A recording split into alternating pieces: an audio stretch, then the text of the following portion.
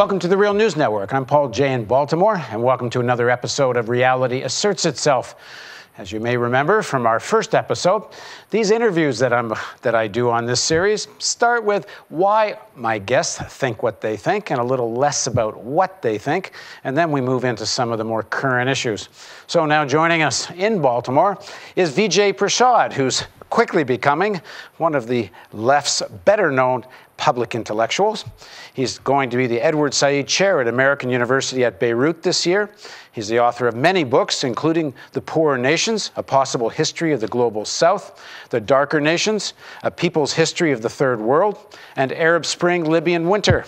He also regularly writes for The Hindu, Frontline Magazine, and Counterpunch. Thanks very much for joining us. Thank you. So uh, I'm very intrigued these days with the issue of identity, and, and uh, not so much about identity politics, but more about when people think of themselves like I say I am, and then you fill in the blank, it could be I am Paul Jay, or I am and I fill in a nationality. In my case, it's a dual citizenship, and frankly, I couldn't care less. uh, but people fill in I am, I am, but, but that I is very much a cultural product and a product of your experience. But as soon as we start learning language, we're learning the words filled with the assumptions of the culture we're brought up in. I mean, as, it could be as simple as the word cup, but sometimes you'll learn just the word cup and its functionality, but somebody might even explain to you that someone had to work to make a cup, mm. and, and, and you get the concept that people work. Many people, that isn't part of their cultural experience.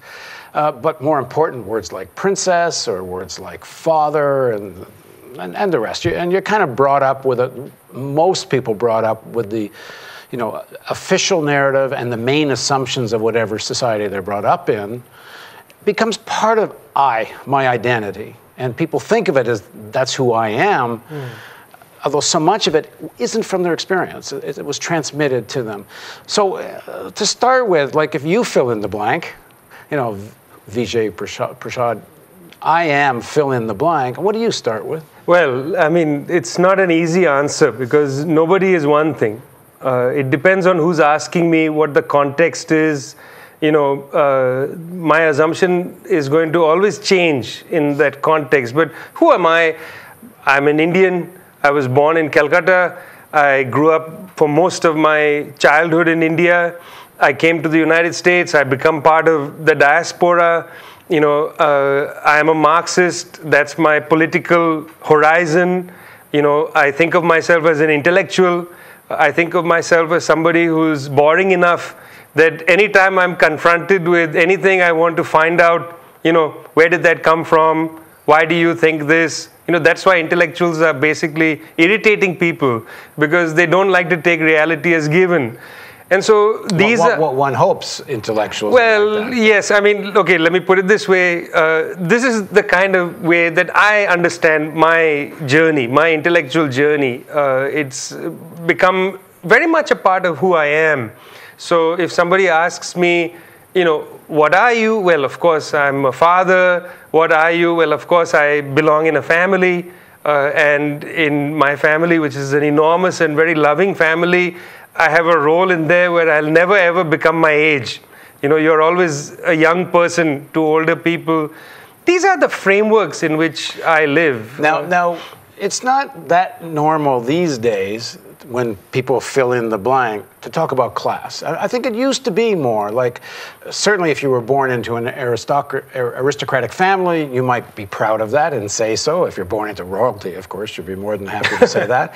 But for the working class too, I think it used to be, you know, I'm a worker, right. you know, I come from the working class. A, a lot of that is not so much part of most people's, certainly ordinary people's identity of, anymore, although it certainly is their experience. Uh, but you were born into affluence, and, and you were quoted somewhere as saying, you know, I, I, came to Marxism sort of against my own interests because I was born into affluence. So talk a bit about that. Yeah, I mean, my family uh, is an intellectual family. My grandparents were not wealthy people. You know, they were government officials or they were, my grandfather, one of my grandfathers was a, studied snails, translated books from Persian and Turkish these were intellectuals, you know, that's the background. My father was a very larger than life character. And he was in his 20s when India, India became independent. And he seized that opportunity. You know, he went into uh, industry, went into government as well, was very much in the position of, I want to build this new nation. You know, he was obsessed with the Japanese. He had this idea that if the Japanese could make something of Japan, what's wrong with India? What's wrong with Egypt? You know, what's wrong with Indonesia? These were his touchstones, these countries. So I grew up in a family And where. what, and what did he do? So my father was an industrialist, you know, uh, and at the same time he worked for the mining Indian Mining Association. He worked for the coal association. He had government jobs. He worked in industry. Went back and forth, you know, as those kind of nationalists did. You know, they they understood their private sector work as part of a national project, and so I grew up in a family where we didn't want for anything. We lived in Calcutta, a great cosmopolitan city, but also a city filled with inequalities. And you know, at the same time, I was raised in this world where the idea was one doesn't make money only for your personal reasons, but you have to build this sort of national, you know, uh, society.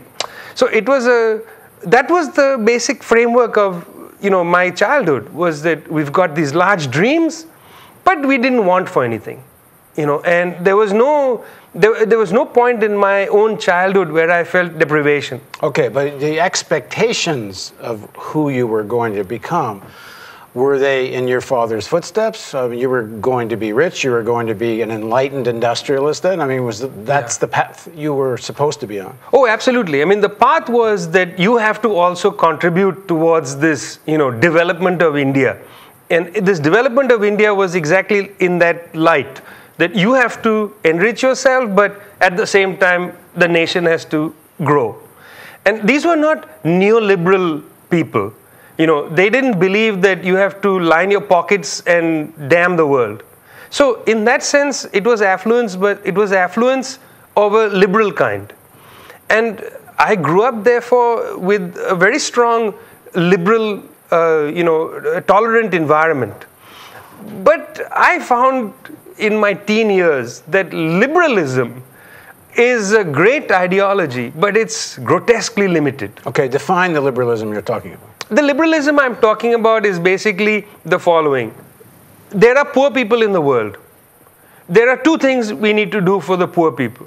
One is we have to create employment for them. So we have to set up another factory or set up some kind of you know, mechanism to employ people. Those who cannot be employed, two or three times a year, we'll gather old clothes, we'll buy some blankets, we'll collect books, and we will personally go into a slum area and deliver them to the poor. This was the character of our liberalism. This is the environment in which I grew up in.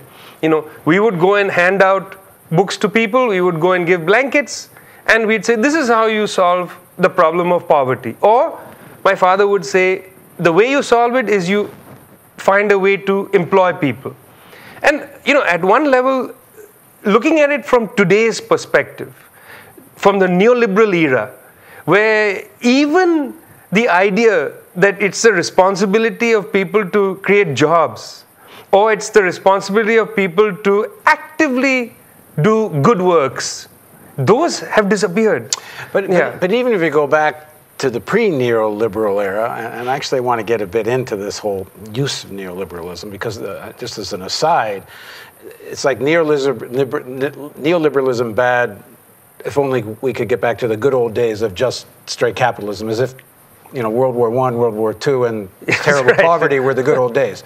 Um, but uh, when I was in India, I was struck, and, and I guess. Uh, only because of the scale of the thing, meaning the, the hundreds of millions of people in abject poverty, that there's a kind of blinder in this liberalism you're talking about. That you know, you give a little bit of money on the street, you do something towards the poor, and then you can kind of live your life. And I, I mean, I, had heard, and this was like 15 years ago, I guess, 20 years ago when I was there, it was something like 300 million Indians living at a very good standard of living, perhaps you know more or less equal even to a you know West European type of standard of living. And then what, seven, 800 million people living in abject poverty. And, and there's a kind of blinder, maybe it's the same blinder the Canadians and Americans have towards Native people living on reservations in abject poverty or some of the terrible poverty in the urban centers. You just don't see it anymore.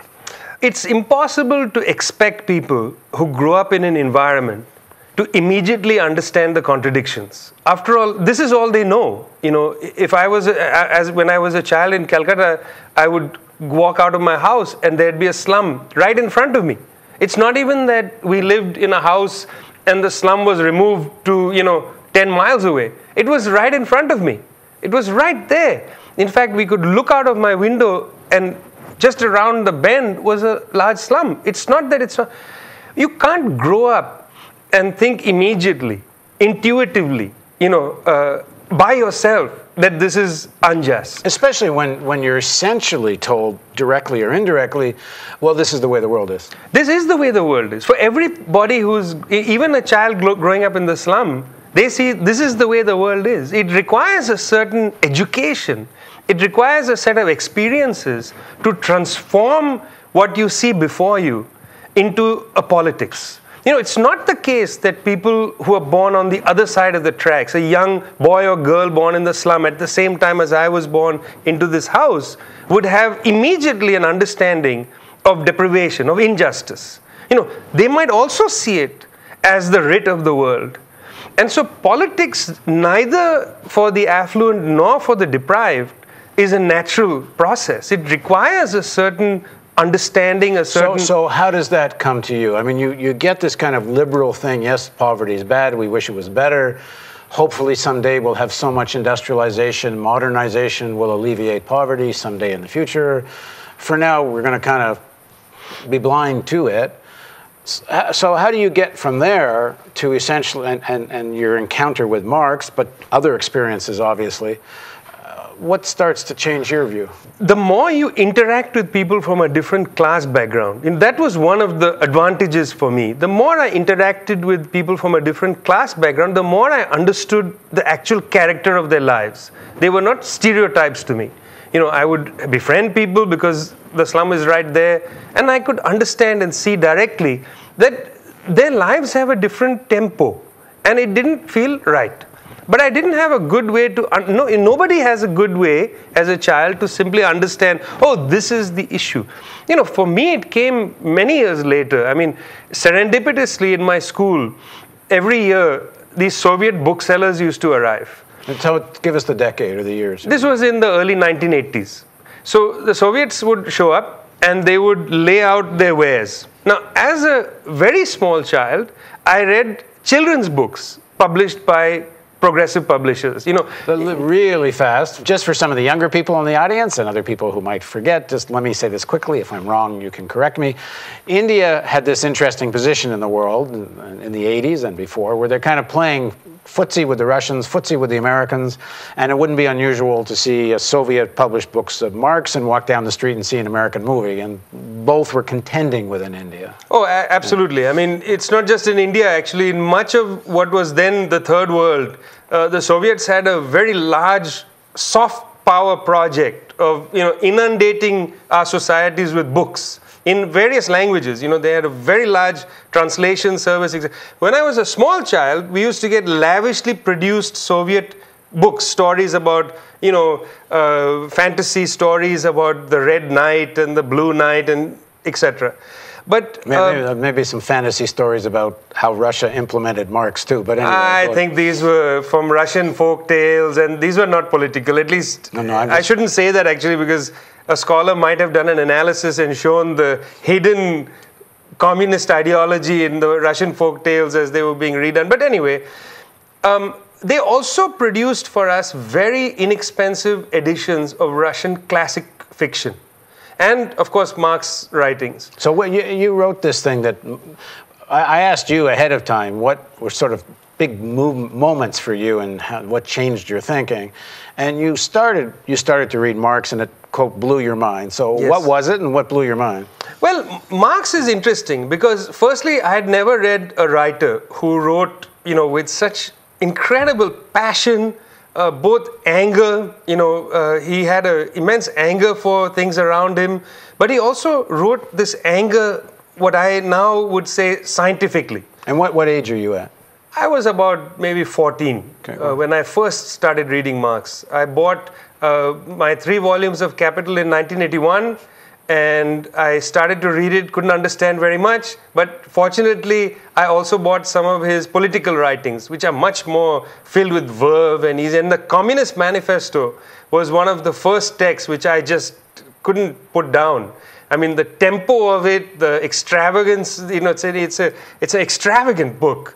It starts with this great image, you know, of the specter haunting Europe, and then you have almost goblins in it coming out, you know, from the nether worlds to do things, and you know, capital is is a, is almost a beast in this story. You know, it's like it's like later. I remember reading uh, Victorian fiction and you know reading some poetry uh, european poetry and it has a great poetry in it so that text the manifesto really was superb. I mean I had never really read anything like that. That was political emotional highly charged text uh, and, and imaginative you know because they're speculating.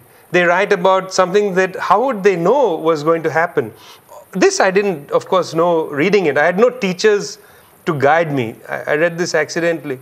But before Marx really took hold of my imagination, one of the books I bought from Progress Publishers was a book by Tolstoy called Resurrection. And it's a book that's very rarely read now. But it really affected me deeply uh, for a simple reason. The story is about a prince, somebody from an elite background, who visits a relative. And in the visit, rapes or has some sort of sexual encounter with a servant. It's not clear in the novel whether it's consensual or what is consent after all. But it's uh, they have sex, and this woman then the servant is pregnant, and her life from that minute falls apart. Now, what's amazing about the novel Resurrection is that this prince is the best kind of person and he tries his best to help her. In fact, at one point, she is sent off to the Gulag. You know, the Tsar's uh, courts condemn her to Siberia, and he rides his horse alongside the Gulag train, you know, as they are walking in their caravan. And he wants to help her, and she keeps telling, him, Get out of my life because you can't help me. And what that novel, you know, and, and of course, he can't help her. But what that novel demonstrated to me very powerfully, much more powerfully than you know English fiction, much more powerfully, was the futility of even the best liberal person. You know, you just your good intentions just cannot help you get out of the mess that the world is in.